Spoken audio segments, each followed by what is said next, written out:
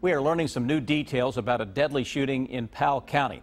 State police say that 32 year old Melissa Roberts shot and killed Stephen Strange after he confronted her in her house last night. Roberts is not facing any charges at this time. Victor Puentes, tracking the investigation, has the details.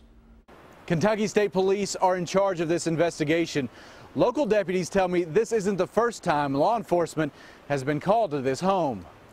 The call to 911 came just after 9 Wednesday night. Packing 911, where's your emergency? Yes, um, it's at Cow Creek Road. I just shot my ex. State police say 32-year-old Melissa Roberts was at her home when her ex-boyfriend, 39-year-old Stephen Strange, confronted her. They say she shot him in the chest with a 12-gauge shotgun. I just shot him and he's laying on the floor. He came in my house. We've met the patient on the road. Okay, what is your name? Melissa Roberts.